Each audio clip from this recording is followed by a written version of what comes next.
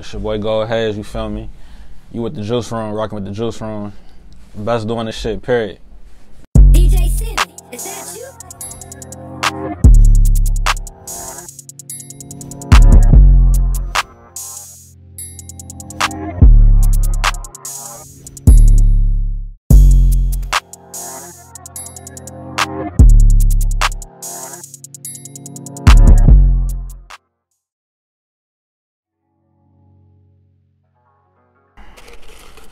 I noticed y'all be putting funny ass sound effects too.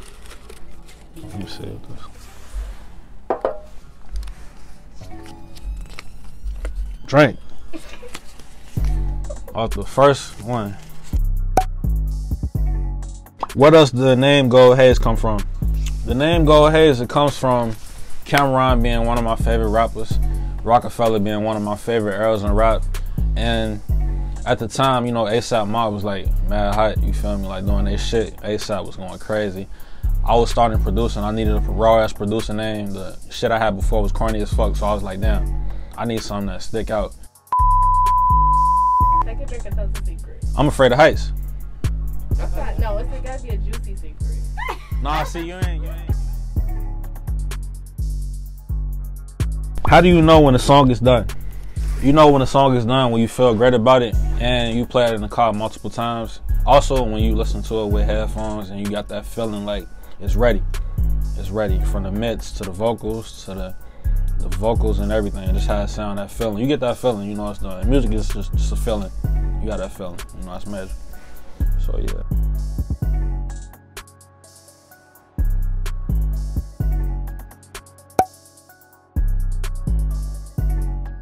If you can go anywhere in the world right now, where would you go? Out the country to hit a project that comes out February 12th from here on out.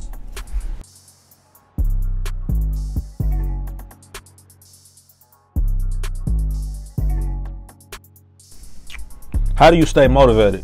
I stay motivated by knowing that it all falls on me as a creative. I feel like if you depend on other people to get your shit done, then you ain't gonna go nowhere. You you bitch all day online about what other people won't do for you, you won't go nowhere because you can't put your you can't put your career in other people's hands, bro. It's like it's too life too short for all that. And if you waiting on that, you won't succeed at all. Everybody got their own shit going. Everybody working on their own things, especially in Chicago. You know, I feel like a lot of creatives they do tend to get like just in their own head too much, and it's not that it's never that deep. You know what I'm saying? But if you continue to stay on your path, do what you're supposed to do, the results are endless. So, Okay, Rich Vision. RVS, that's the team, home team. Okay. Talk about Rich Vision. Talk about where you see Rich Vision in 10 years. Just tell us what it is. Man. does. Rich Vision is more than music. We got my homie Plug at the point guard. We got my homie Flex at the shooting guard. The legendary DJ Lena Bands at the at the you feel me? She getting the Boris for us. We got campaign Camo. He going crazy. My homie Heavy but Light. My homie AJ773.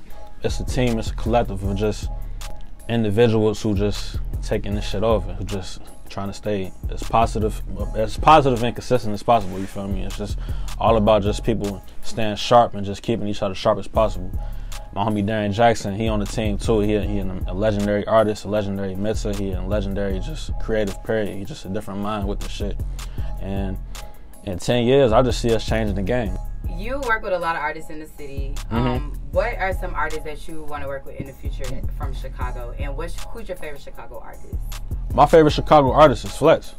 Just off of his consistency alone, like just we saw him grow right in front of our eyes. You know what I'm saying? And he only getting better with time. I feel like what he about to take it in the next ten years, he about to really be next to the the Jay, the Meeks, the the Drakes, the 50s, the DMX. Where he his catalog is is, is speaking for itself. You know, his work speaks for itself. So when did you know that this was like your purpose in life?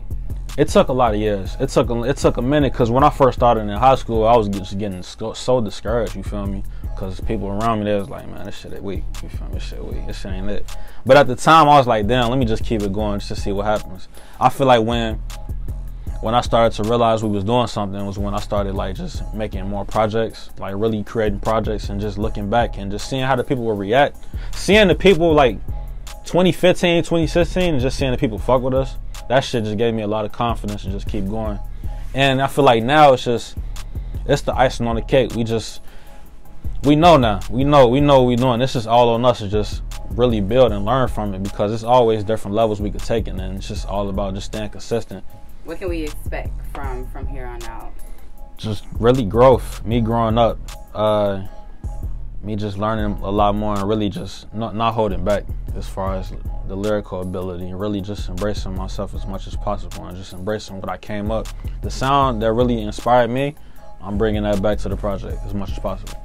From here on out, February 12th, my most pers- personal project to date, man. We we took our time on this. We were supposed to have it done in August, but I really just was like, nah, we need to just put more into this project. And you just, I want y'all to hear the growth, you know, definitely. Yeah. From here on out, February 12th. Peace all on the track. Yeah.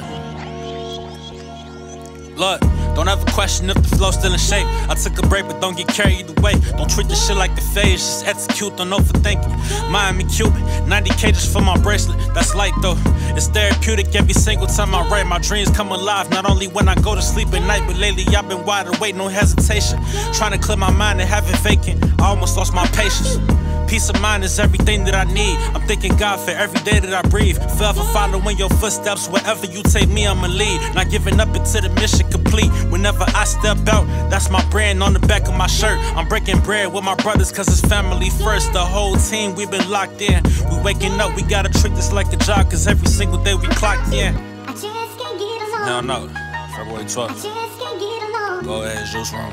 But ooh, baby, Yeah. I'm just keep going top fucker. I just can't get along. Yeah, I just can't get along. look, But ooh, yeah.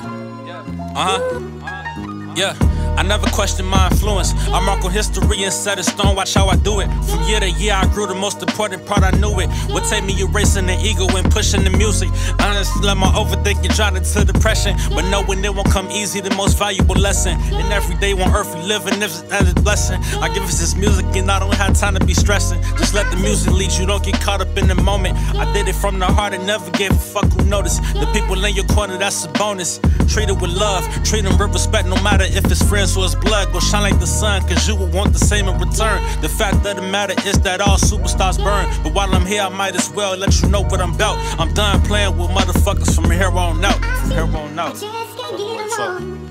Yeah, I just can't get along. yeah, that's it. But ooh, baby, Yeah. Uh huh. I just can't What's get wrong? along. Yeah. I just can't get along. That was on the But cups, ooh, baby, nigga.